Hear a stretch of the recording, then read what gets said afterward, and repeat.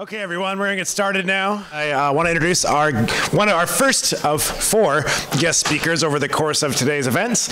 Uh, Bob Bussel, a professor from LERC, which is the Labor Education Research Center at the University of Oregon, which is my understanding was founded the same year as GTFF, one year before. So this is also this is their 41st anniversary, which is which is a uh, no less auspicious. Uh, so Bob is the director of LERC. Uh, LERC has been a phenomenal supporter of GTFF over the years, and I, I like to think vice versa. Uh, LERC not only does research on labor issue, lab, labor issues, labor history, labor social science, uh, everything else.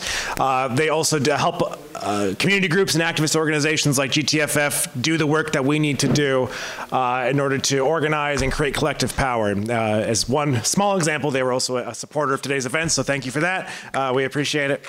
Uh, so a little bit more about Bob. Uh, Bob, again, he's a, he's a labor historian. He's a historian, particularly of, of labor, but he also has a long storied career before that. Uh, four decades working in the union movement, including with the United Farm Workers, 10 years as an organizer with the Amalgamated Clothing and Textile Workers Union. I love that name. Everything should be an amalgamated union, I think. Uh, and then he was a professor at Penn State and then later came to the University of Oregon. He's published numerous articles on labor history and contemporary labor issues in both academic and popular publications. I think something that characterizes a lot of academics uh, who come out of unions is that they try to engage with the public and not just the ivory tower of the academy. Uh, his most recent book is titled Fighting for Total Person Unionism, Harold Gibbons, Ernest Calloway, and Working Class Citizenship, which was published by University of Illinois Press in 2015. So Bob, thank you for being here. Uh, come on up. Thanks very much, Mike, uh, for that you know, kind introduction. And uh, it's really uh, wonderful to be here with you all today and to uh, help you celebrate your 40th anniversary. So happy 40th anniversary, GTFF. Um, Yes, uh, Mike noted, you know, uh, LERC and the GTFF, I think we have enjoyed a long and I think wonderful relationship. We were founded in 1977. GTFF a year later, formal recognition. So I think we've had these parallel paths, but also, also often intersecting in terms of working together and supporting each other over the years. I certainly have great respect for GTFF's uh, achievements and its role on campus and in our larger union movement. And I will also say that when I'm working out in the rec center, I love seeing people with the Red Star t-shirt. kind of coincides with some of the t-shirts I like to wear in the gym. Um, I also want to know Dave Cecil, I don't think is here, but another part of our relationship. One day, many, quite a few years ago, Dave gives me a call and says, You're going to get a call from some dean of the graduate school because we kind of got like in football, if there's an offside play and you get a free play and you can do whatever you want to do. Dave kind of got a free play in negotiations, so we get a graduate student. We've always had graduate employees or graduate uh, researchers, but we got one that basically is free for Dave said for time immemorial he negotiated this. It was one of the best phone calls I've ever gotten. Uh, you know, it was truly in the best sense a win-win. Uh, so uh, I think an anniversary is really a good occasion both to look back and celebrate uh, and acknowledge achievement. And it's also a good opportunity to look forward, look ahead to see what uh, the future might look like or to think about that a little bit. And so that's what I wanted to do with you today. And as Mike mentioned, I'm going to bring a few angles of vision to this task. One is uh, as a historian, I've been a historian for oh gosh, I guess 30 years at this point and have done academic and popular writing, so I'm going to bring that uh, lens to the task. And as Mike mentioned, I've been involved in one form or another. I call it, call it my 40 years lover's quarrel with the union movement.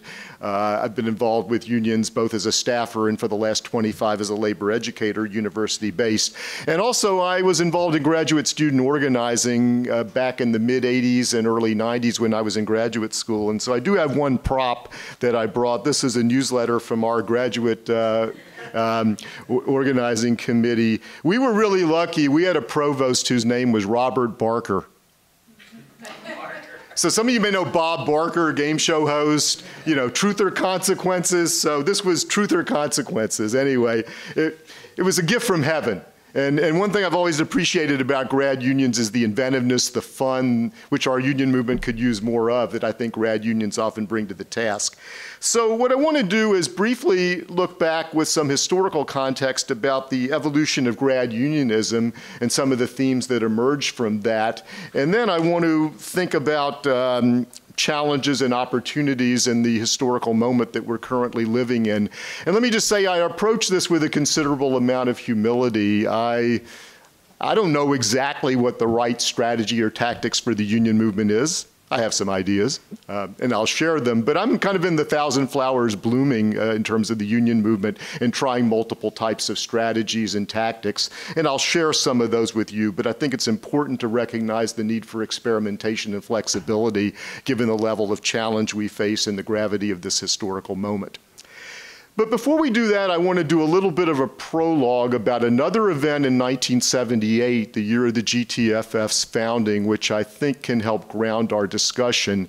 And I remember this fairly well from being around. There may be some of you as well. But there was a major attempt in 1978 to reform the nation's labor law.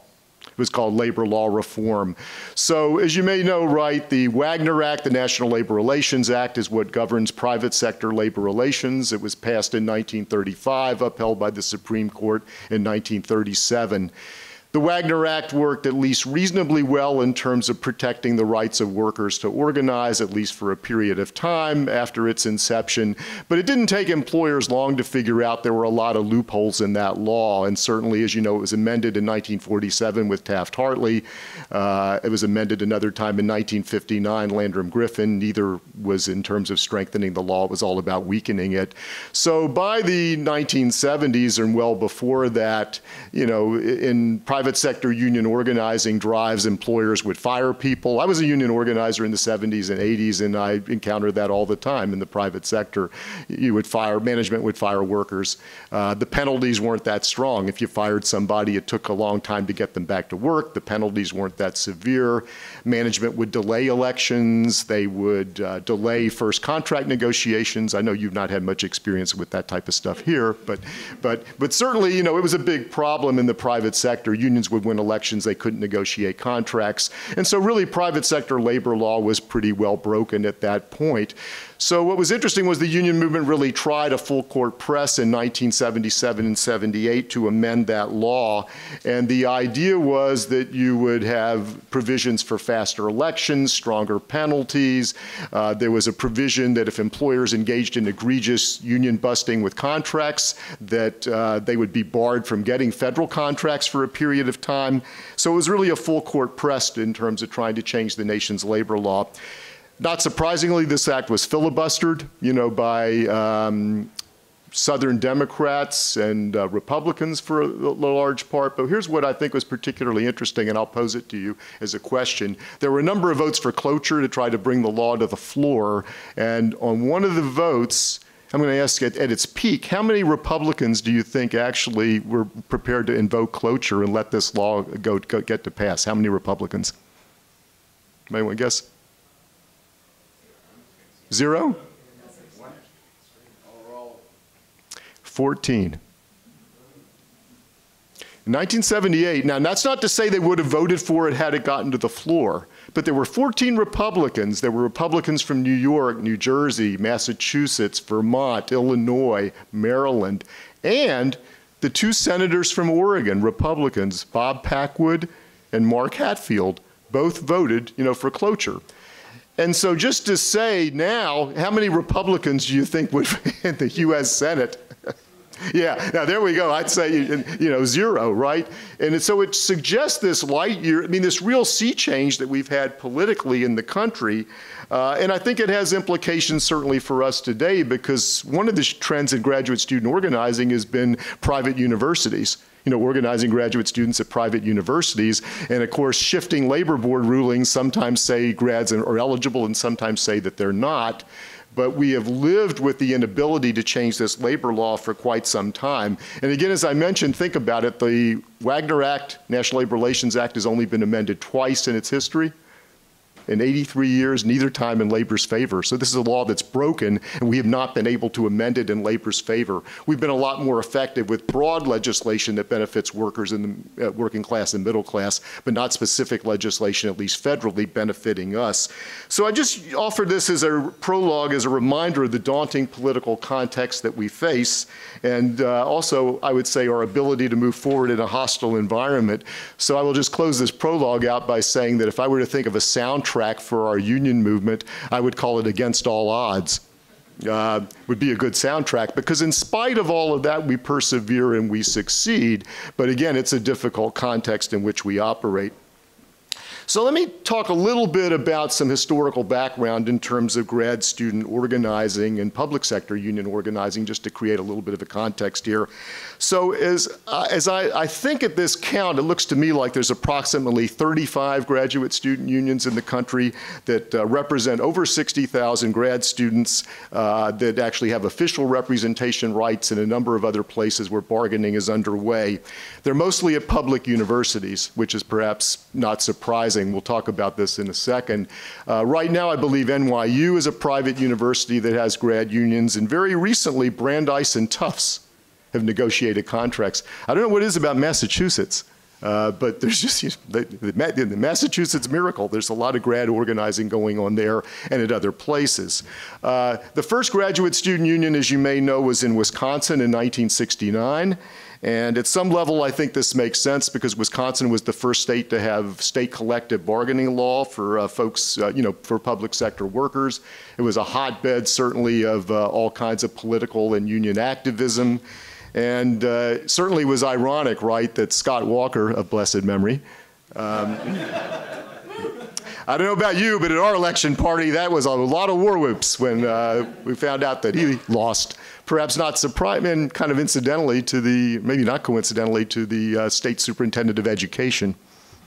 Um, but just again, that Wisconsin would be in the vanguard of, uh, you know, wreaking havoc on public sector workers and public sector bargaining rights. Uh, Wisconsin was where this movement started, and the union here was the fourth uh, in, in the nation.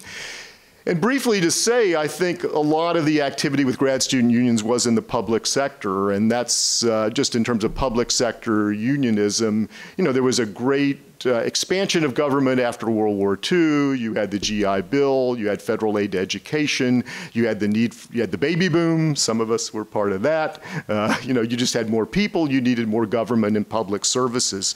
Uh, so the expansion of schools, school personnel, and various types of government agencies.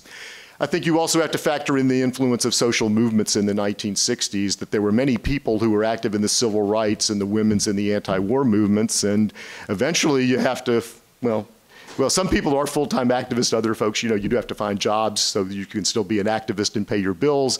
So a lot of these folks found their way into educational institutions and I think provided an impetus for this type of organizing. Uh, and certainly we should, in terms of thinking of anniversaries, we should just certainly note that this is the 50th uh, anniversary of the Memphis uh, sanitation workers strike. And so the fight for racial justice. And I would just say, if you haven't read some of Dr. King's speeches from that time, they're really well worth reading in terms of the intersection of race and class, his really taking on capitalism in some fundamental ways. It's not the sanitized Dr. King of the dream that we so often hear about. It's another Dr. King, I think more of the real Dr. King, but worth noting in terms of public sector unionism and putting that front and center. And I should also add that I think in terms of public sector organizing, education unions and teachers were really very much at the forefront of that. You know, you got to re recall, right, that there were lots of private sector workers that were in unions at that time and teachers who were doing work uh, at all levels, but particularly K through 12 are saying, gee, our salaries are woeful. You know, there are people that hadn't had wages and you know, increases in years. And there was unpaid time for preparation, for extracurricular activities, no breaks, arbitrary treatment. And so what you begin to see in the late 60s and 70s is a lot of teachers taking direct action you know, getting out in the streets. There's tons of teacher union strikes, work passages, work stoppages, and that really forced, and again, it's that old uh, the old way in which social change occurs. Pressure from below creates enabling legislation from above. And of course, I think for, you know, just as it was with the Wagner Act in the 1930s, let's take stuff out of the streets and put it in the suites, so to speak, you know, in terms of actually having a structure by which people can bargain. And then there was also the spectacle of teachers in handcuffs. I mean, you had a number of teachers that were engaged in activity, you know, contempt of court. I knew, met some of those teachers when I came up in the union movement in Newark, New Jersey. I mean, they were real heroes and heroines that actually served jail time for contempt to get those bargaining rights. Uh, and all of that helped tip the scale along with the election of a number of Democratic governors in the late 60s and 70s. So by 1972, there are 26 states in the union that have public sector collective bargaining. Oregon followed a year later with our Public Employee Collective Bargaining Act, the PECBA, yeah, in uh, 1973. And the GTFF here was the, again, the fourth uh, grad union in the country in the vanguard of that. And as people noted before it earlier at session, it took two strike votes, right, to finally prod the U of O to agree to a contract. And you know the issues I think we, people have talked about, but again I think graduate student unionism has always been founded, like most unionism, in things that affect people very directly where they work. So there were issues like wages and workloads and criteria for appointment and reappointment, grievance procedures.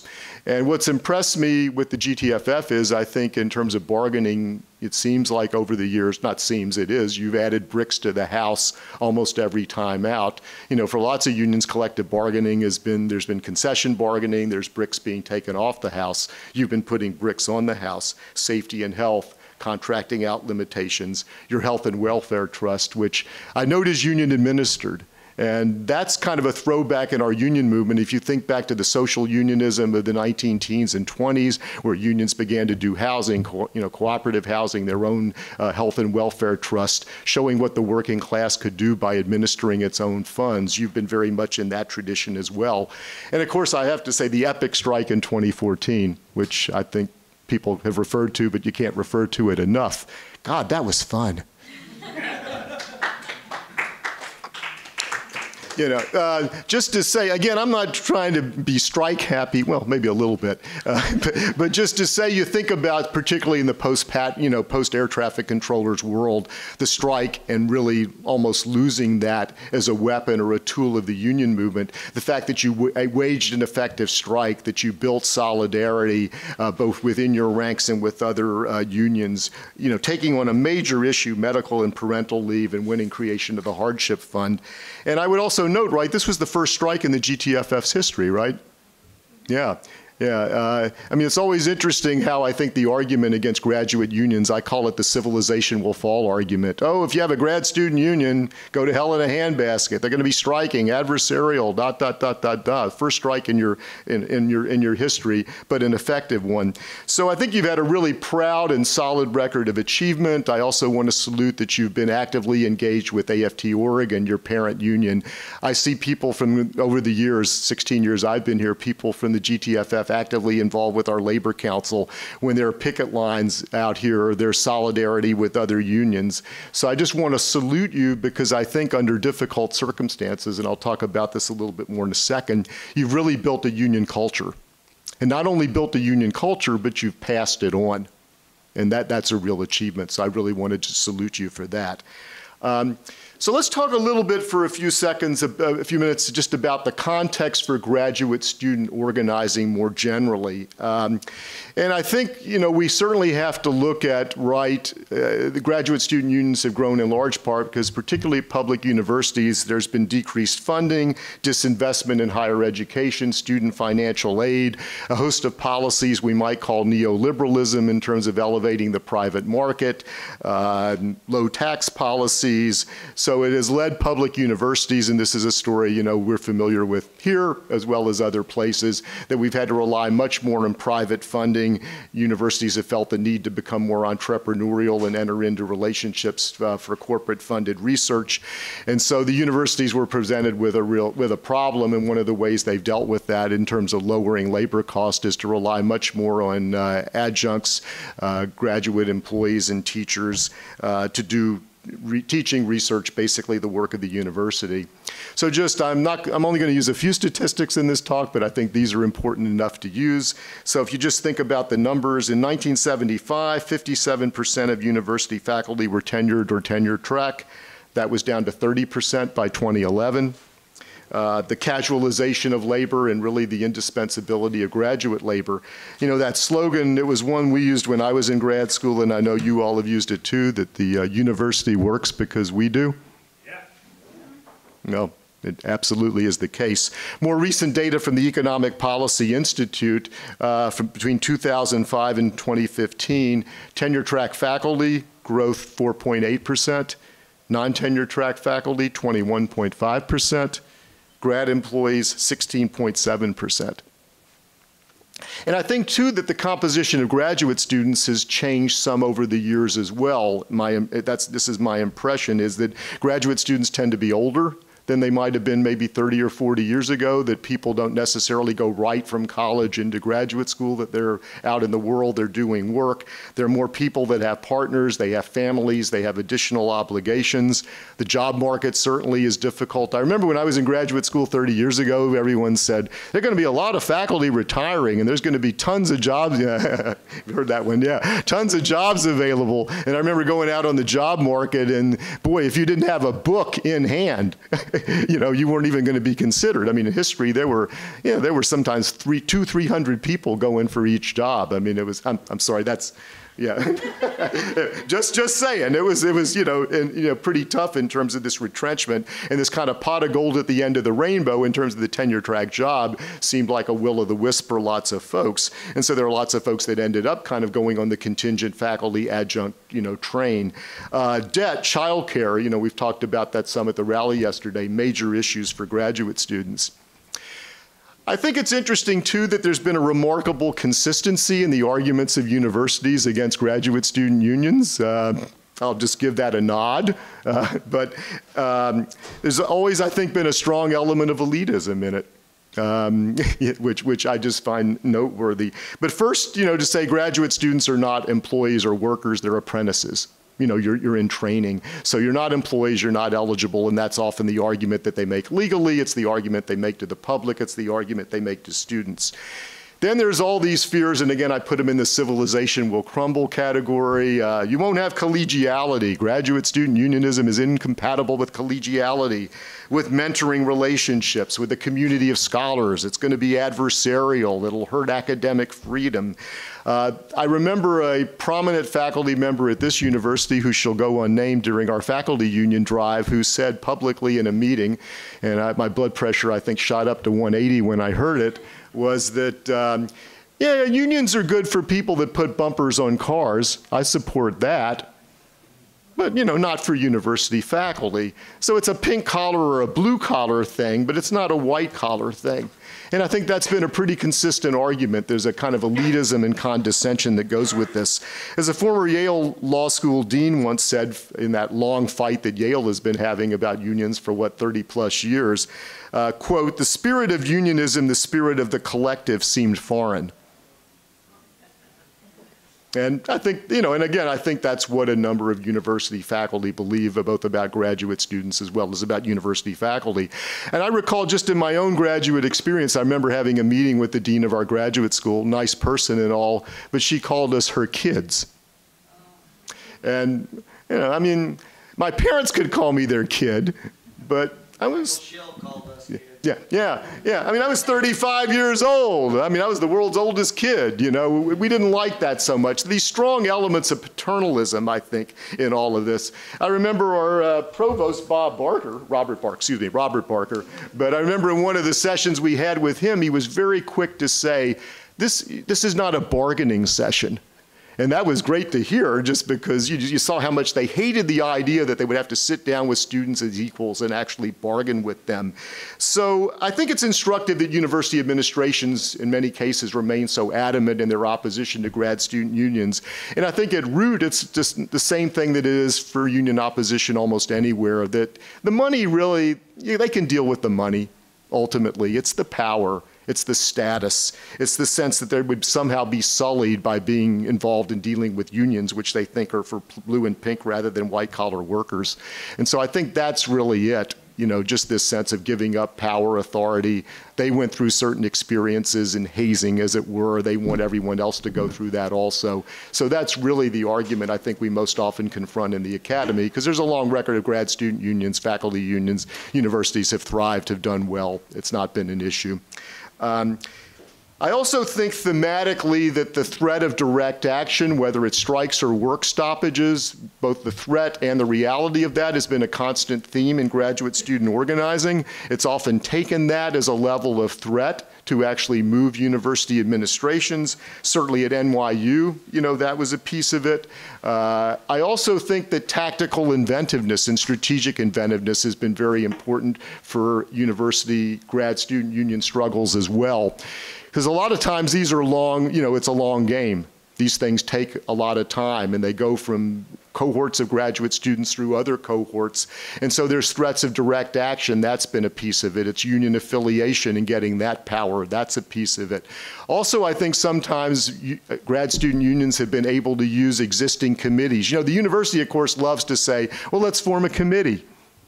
Let's study this. We value your input you know, all these sorts of things that at one level are a co-opt, a co-optive or co-optative, but at the same time, just as unions back in the 30s used company unions and employee representation plans and participated in them and got concrete concessions that showed the power of the union, but also said, look, at we can only go so far with this type of structure. I think graduate students have creatively used those types of structures to point out hypocrisy and contradiction. And at UW, University of Washington, I think that was part of their history and their long efforts to get a union.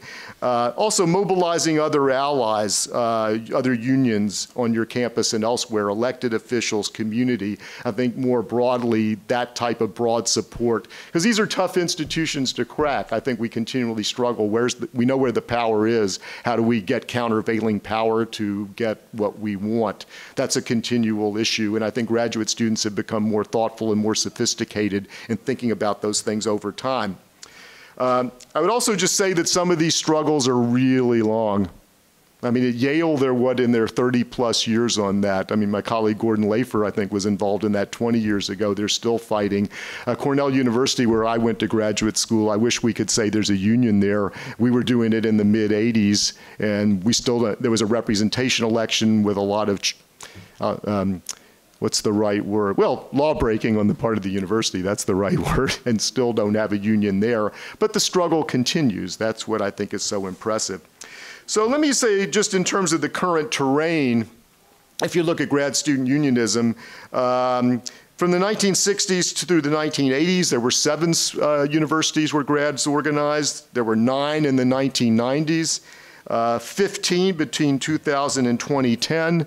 And from 2010 on up, there are four that I can count and considerable organizing that's going on now. Let's take our hat off to our, our brothers and sisters and cousins at Portland State, as well as uh, other private universities. So, you know, so really, it's really heating up, I think, because I think increasingly as people look at just the cost, you know, what it costs to be housed, what it costs to get through school, what it costs for childcare in your family, and particularly, I think in some of these cities in the Northeast, but in other places as well, you know, the, the balloon just can't take any more air. It's really prompting people to organize.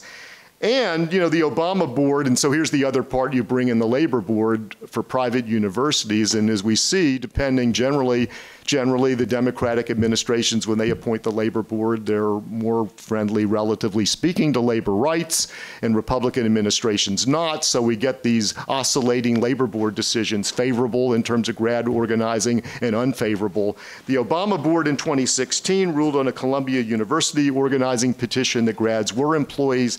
This prompted a flood of uh, petitions. So there are unions like SEIU, AFT, AAUP, uh, and um, UAW that have been the primary unions doing this organizing. And there's a boatload of private universities right now, as you may know, where there's organizing going on. University of Chicago, Yale, Harvard, Georgetown, Tufts, the New School, Boston College, uh, Brown, Brandeis, uh, University of Seattle, six union of postdocs just happened you know, so uh, Portland State again on our home turf. But more recently, there were a number of petitions that were withdrawn a few months ago because of fear now that the Trump board, and he's getting an, an appointee that will shift the, uh, the, balance of power, that they will rule unfavorably on these petitions. And so there's a concern that if you, so several unions had petitions for elections, withdrew them because they were concerned about getting an unfavorable ruling, uh, again, that would say that grad employees at private universities didn't have the right to organize. But with all of that, you know, we still have two victories recently, Tufts and Brandeis, Harvard's negotiating, and others at private universities. So the momentum, I think, really is, uh, shall we say, on our side. And uh, just to say, it's interesting, just in terms of some of the recent contracts. Uh, at Tufts, they got 12 to 19 percent raises over a four-year period and 12 weeks of paid parental leave.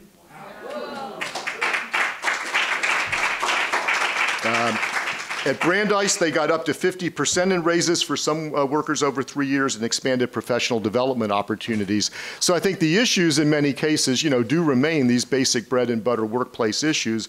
But as we'll see, I think that there are other things that grad unions fight for, and I would suggest should fight for that are broader in terms of the public good that are an important part of this equation as well. So let me, uh, that's kind of a historical overview and where we are now, I want to offer at least a few, and let me emphasize these are reflections, suggestions, not prescriptions, but just in terms of as we think ahead and look at the future, let me just share a few thoughts, and I would you know love to have a conversation with you about them or, or anything else. Uh, I think as we look forward, I think that education unions will play a critical role in any resurgence of our union movement.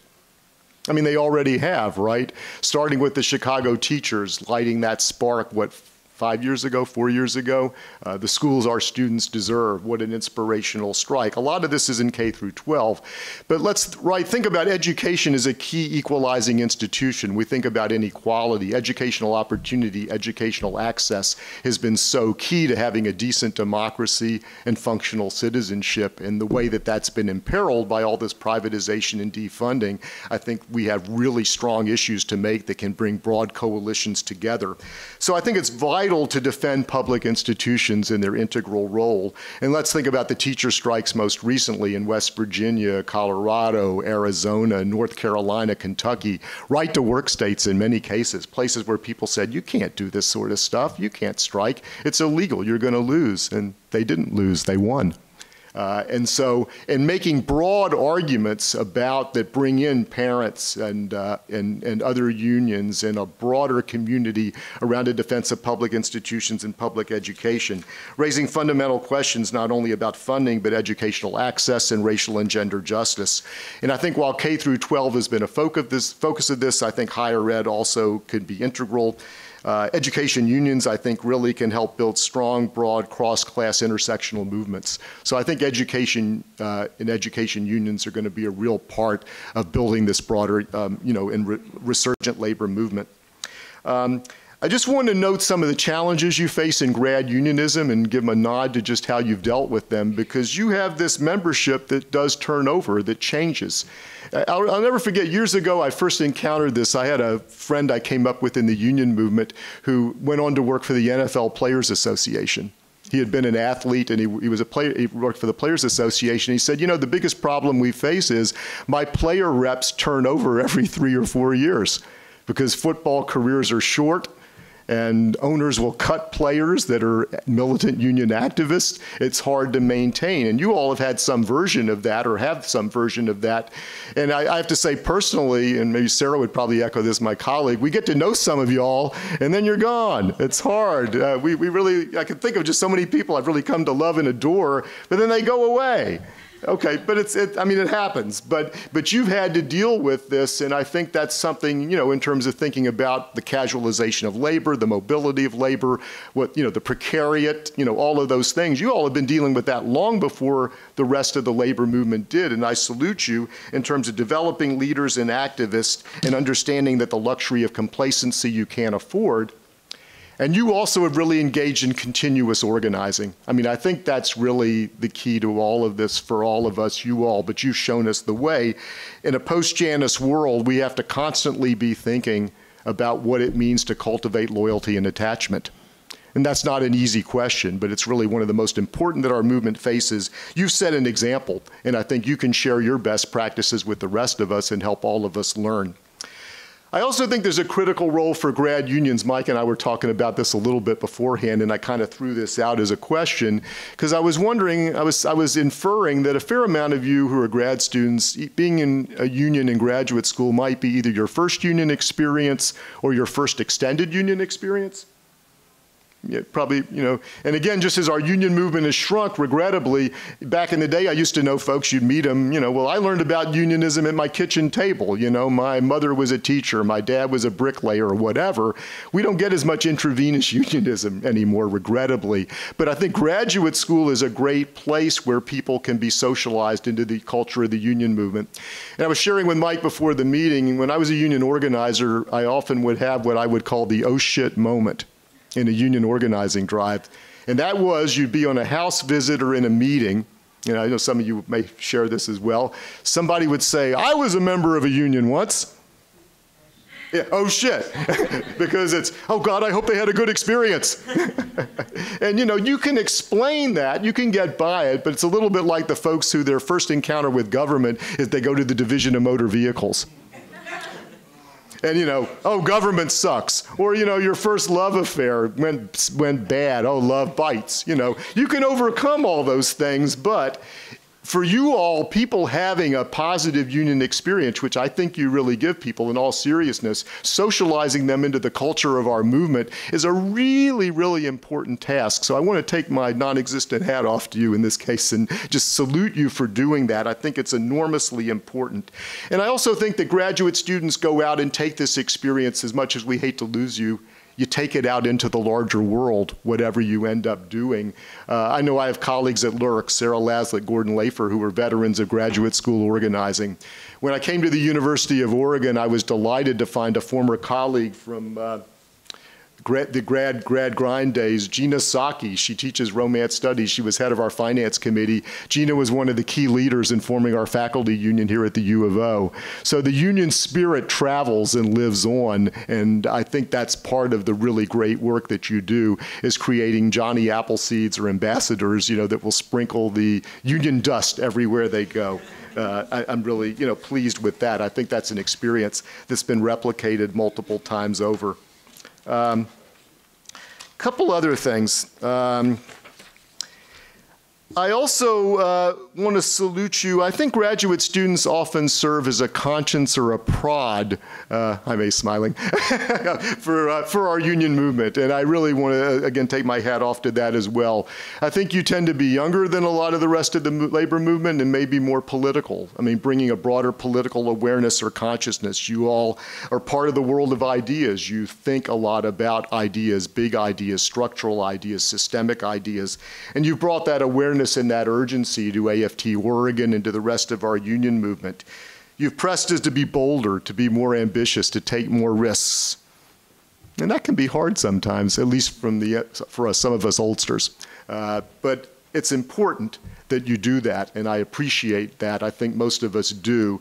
Uh, at the same time, I understand that you can sometimes have an attitude of impatience or disappointment with unions, uh, which I think is understandable. And I guess I would only ask to keep on, keep it on, keep us on our toes, but also roll up your sleeves and let's do the work. And let's focus on doing that work, but not somehow to balance that sense of urgency with some measure of patience that this is a movement that does take time to change. But I will say it's changed. I mean, I think when you think of things like racial justice, gender justice, the union movement, immigration, that the union movement, it's taken a long time, but it certainly is farther along than it was five years ago, 10 years ago, 20 years ago. Bargaining for the common good, environmentalism, there's a lot of things. And I guess I would just say this that 40 years into this work, for all its faults, I think any social change that's going to come in this country, the union movement has got to be an integral part of that. And I appreciate you prodding us to be better. Uh, and, and, but it's, it's uh, I think, a really fruitful and necessary interchange. And also, I would just encourage you, you've done this, but just to pursue your relationships with the rest of the union movement, uh, to work with our labor chapters and labor councils, with other unions on campus, uh, to really make solidarity not just a rhetorical term, but something that we actually practice. What you did in the 2014 strike was to show us that. And also, the last thing in terms of conscience is I really appreciate your role and would encourage you to continue being a conscience regarding the role of the university. Protecting it as a space for critical thinking, uh, for the quality of stu the student educational experience, calling us to the broader social responsibilities of the academy, asking the hard questions and continuing to engage. You have and will continue to play a major role in fighting for the kind of university we deserve. Um, finally, I just want to speak a little bit about a broader social perspective in the notion of bargaining for the, for the common or the public good. Graduate student unionism, as all unionism, is certainly rooted in the immediate needs of workers, and as it should be, but there's also that powerful slogan from education unions, our working conditions are student learning conditions right? That what's good for us as workers is good for students, it's good for educational institutions, it's good for the broad, broader community. So bargaining for the common good, as you may know, is an explicit effort, particularly in the public sector, to create what uh, a couple people I wrote about in my Total Person Unionism book called the Community Bargaining Table. That the idea is that yes, we bargain within these boundaries, but we can extend those and make it about bigger and broader things, thinking about workers as total persons. You know, that you work for a period of time, but you live in a community, and those interests are not detached, they're actually connected. And using the power and leverage that we have to press for broader changes that help workers in their communities. Um, Bhattacharya, a political science doctoral candidate at Rutgers, recently was quoted, and I think very eloquently on this subject. And Sudeep said, The union has pushed economic issues so that people can lead a decent life, but also went on to say, Our union looks beyond what we need at Rutgers to look at the wider picture of what society needs. We address the harm that is being done to poor and working class students, the harm to our environment, the harm caused by things like the Muslim ban and attacks on undocumented students. And that's the type of thing I think that bargaining for the public good and having that wider perspective can do. I know you've been active and we, need, we need to continue to be active on issues such as student debt, funding, educational equity, support and solidarity with Dreamers and DACA students, climate change and environmental concerns. I think you are uniquely well positioned to argue on behalf of bargaining for the common good to try to implement some of those practices and support others when they're doing them. So let me just simply say this, uh, uh, conclude on a couple of notes. Um, I saw a quote recently in doing some research for this from a, a, PhD candidate in rhetoric at Texas Women's University named Justin Cook. And Justin Cook said they're trying to organize a union and said, We're not trying to burn the place down, but we want to remind the university that we're people. And I think this is the type of view that has animated the GTFF and graduate unionism throughout their history, an, insistent that an insistence that graduate students be treated as people, an insistence that their labor has value that should be recognized, and a belief in the indispensable role of a strong labor movement and a willingness to walk the walk on behalf of that conviction. So let me close, as I said at the beginning, happy 40th anniversary GTFF. You've done a lot, and I think the best is yet to come. Thank you.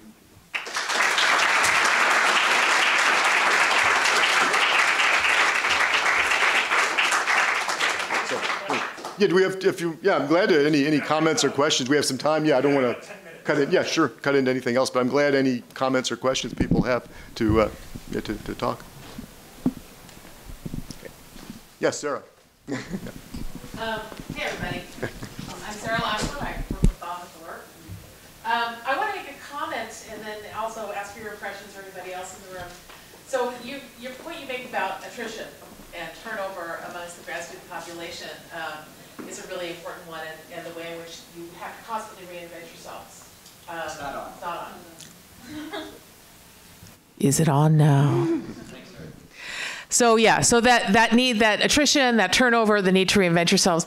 You know, it occurs to me also as I'm hearing Bob talk that there's actually maybe a silver lining to that as well, because I think one of the things that can often weigh down our unions is that entrenchment, is the lack of change over in leadership, and so I think that's also a, a lesson that graduate student unions can bring to the rest of the movement uh, about revitalization, about institutional memory.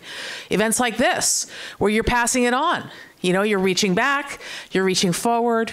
It's a really, it's really a very sort of vitalizing, I think, practice that the movement could learn for, from more generally.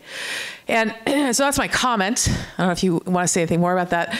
My question actually does have to do with the changing demographic populations um, of students, both undergraduate and graduate.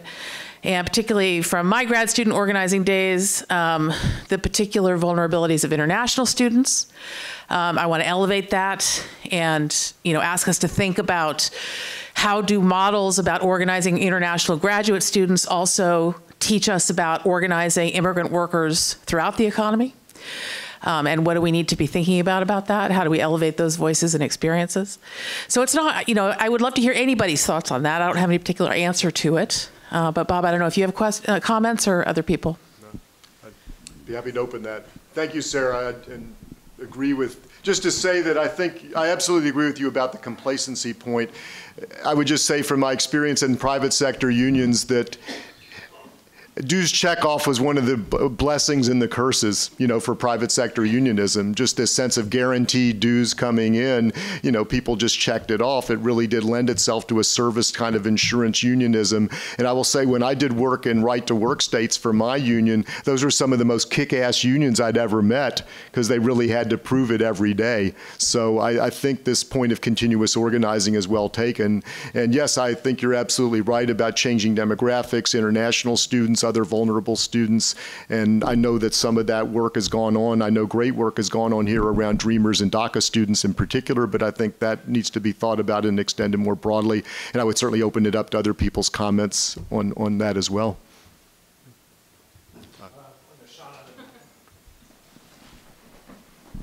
Uh, I just wanted to speak to how we specifically addressed international students during the strike, because that was a big concern of, of, a, of that chunk of our uh, membership. And so one of the things we did before we went on strike was we hired a lawyer to give uh, information and advice specifically for international students. We had specific meetings um, in their uh, areas of campus to talk to them about what their rights were. We reached out to the faculty, not the, fa well, the faculty in those areas, but also the administration once they start, started sending out illegal emails and telling the international students they could have their work visas revoked if they went on strike, which is against the law. Um, and so it was one of the things that we we were proactive and very reactive um, throughout the whole process for them and made them feel that we were as much there for them as for anyone else and that they were not getting they were not being put at a special risk and so that was one of the things that you we we did and you can do in that kind of a situation for your international students Oh, yes. Sorry. Uh, if you missed me earlier, I'm Shauna. I was on the bargaining team and um, was the VP of grievances during the strike. So that was all I did was deal with that.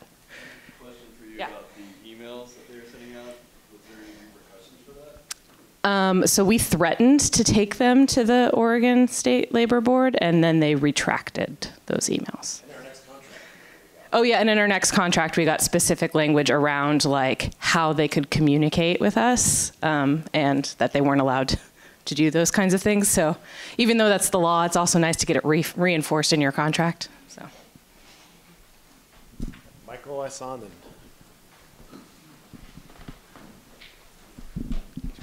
Uh, thanks. I'm Michael Marshman, the current staff organizer for the GTFF. Um, I wanted to sort of follow up on Sarah, your point, and Bob's point. I came out, um, I got my start in the labor movement in a grad union in Iowa at the University of Iowa um, that was right to work state. And we were also organized under United Electrical Workers, which is a very strong, militant, radical union. And I didn't know any other kind of labor organizing other than constant 24 7, 12 months a year organizing. So when I got the job here at Oregon, it was a, like a really an interesting moment for me where I thought, we have money. because at Iowa we were like, oh gosh, you're making 15 copies. You know, could you make that 12? Like we were like, like money was tight. Um, and it, it was really interesting to witness the both the blessing and the curse of that resource because as Mike has mentioned earlier, between our insurance that that we have that people walk into our office to get that's excellent. Everybody knows your insurance is because of your union. And, but that and the fact that there was only a small difference between fair share and full member dues meant it was really very easy to get people to join. And I think there's been ups and downs in the history of the GTFF in terms of how active it's been in like really reaching out and recruiting people. But I remember being excited about the resource and the money. I thought finally I get to work in a in a fair share state, and then but then quickly kind of realized like okay wait that means we have to like from my mind like we got to kind of rebuild re we have to alter the culture of our organizing kind of significantly. And that was even, I mean, the, that was when the Friedrichs case was coming down and it looked like that might happen. And then we dodged that bullet. But the writing was on the wall that this was, was coming. And so I, don't, I'm not grateful that we have, uh, that we're now right to work. But at the same time, I'm really appreciative of having had that experience coming into this job because I just learned that that's what you do to organize effectively. And I think we've like the the last few years have allowed us, in, in, fact, forced us as a union to really, as Mike says, like go back to basics, to get serious about not just talking to people, but building like a community of people that care for each other, understand each other, right, and are involved directly in making all of the decisions that we do, and realizing that that only comes from hard, the hard work of talking to people, talking to people, talking to people, and tracking all of that information so we can know who have we talked to, who have we reached, who have we not reached yet, where do we have to go to get more energy. So I think there's something there's something to this moment right now which is both awful and um, potential. There's tremendous potential right now because I feel like in my short time at the GTFF, we are just invigorated and vitalized. And uh, is that a word? Vitalized? Okay, uh, and I think Put a lot of that, in front of it. a lot of that, yes, a lot of that has to do with you know the threat that we were facing and the like. We got to get real moment that we can survive here in the future. Yep.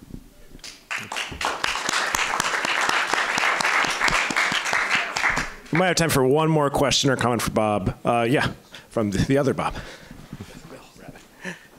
For Bill. It's actually, thank you, Mike.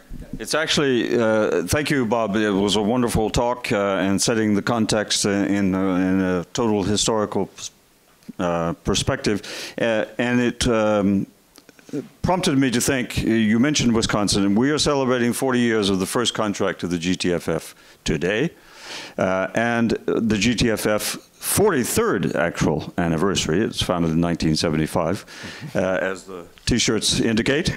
Uh, and uh, we have, uh, and you know him well, uh, Bob Ginsburg here from Wisconsin. I just wonder if, with he has, if we have a minute or two to have him make some comments, not only about that period, but perhaps share some experiences about what will happen now in Wisconsin and elsewhere when people like Scott Walker have been repudiated. I wonder if that's possible. Absolutely. Yeah.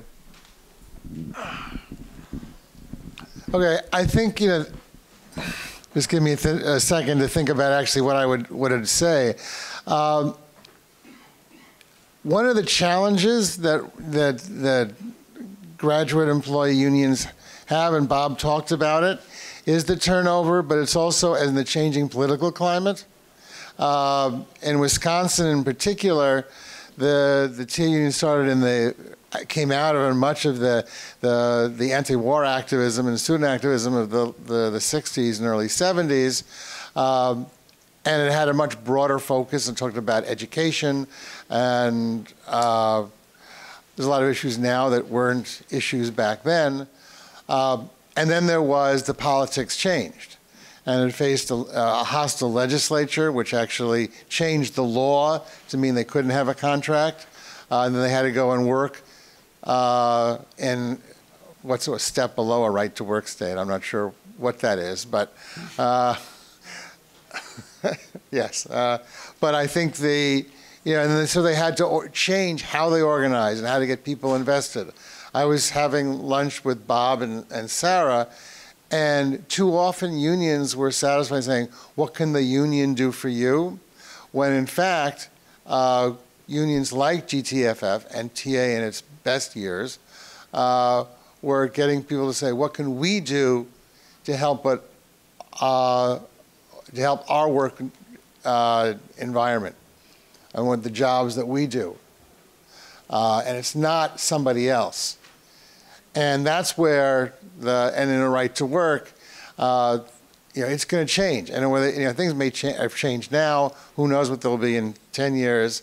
And in 40 years, I will hopefully not be around to, to find out what it looks like. But I think the point is for these unions to be as broad and to organize in that way. And it's the, those that have that history of looking, and I think it goes back to the TA union, where they can pull on that and that history and say, how are they doing things differently? And getting people to invest in those unions and think beyond their own job. I mean, I talked earlier today about, you know, what the unions do is get you to understand what happened. You know, there's other people who have similar interests beyond your own little narrow world. And we're in a world now where there's more and more encouragement for that kind of individuality. You're, it's just you, and there's all these others. And I think you know we have. That's what these kinds of unions do, uh, and that's why these kinds is these graduate employee unions, whether it's the TA union, GTFF, people then get the idea, oh, we can do other things, and that's why you have so many people around the country who say, oh yeah, I was in the TA union, or I was in the GTFF, or I was in GEO, or I was in whatever else, because they learn how to do that, and they're better even if they stay in their own uh, academic discipline, they actually learn how to do other things. Harry talked about that. And that's what I got out of you know, the TA Union in Madison, uh, as well as skills. I mean, the, I learned how to bargain. And, you know, in through the tedium, who was mentioned earlier this morning. Uh, but it's also, they always, and, you know, and it's like anything else. The more you do it, the better you get at it. Same with organizing. Uh, so I think that's the that's those that lesson, and for all that you get from Madison. I'd just say one of my shorthands for all of this is that there's a distinction between people talking about the union and our union. And the more we have people that are saying our union versus the union, we've done something really important. And I think, I, I suspect that our adjective is one that you hear, you know, often enough here because you found ways to get that sense of loyalty and attachment going. But I think that's one of the big challenges for our movement, you know, is to get, get us to go from the to our is the modifying adjective for union. Thanks, Bob. Sure, thank you.